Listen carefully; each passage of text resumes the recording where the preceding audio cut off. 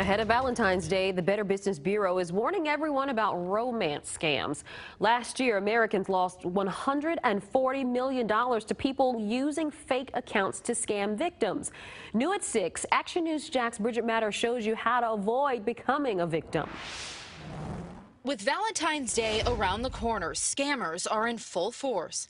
It's called romance scams, where scam artists lure people in, grooming them, and eventually taking their money. Just like a business where a business has a sales script, they have a scam script, you know, how to lure you in.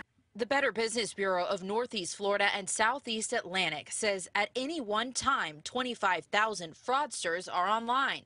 Scammers create profiles using other people's photos on dating sites and apps, then catfishing unsuspecting lovers. According to FBI data, Florida is the third most catfish state in the U.S. Creating a fake profile is relatively easy.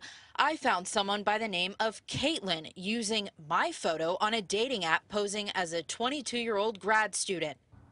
I've reported this profile to the app. The BBB says profiles like mine can be used to scam people out of thousands of dollars. But there are ways to spot a bogus profile. Really look at the information that they're putting on there versus the information in the photo that they're providing. Look, you know, see if there are any red flags in just the profile. Really scrutinize the image and the information that they're putting out there. Nelson says reverse image search the photo and see if it belongs to someone else and you're probably being catfished if they never want to meet you in person. The BBB says romance scams in the U.S. resulted in close to nearly $1 billion in the last three years.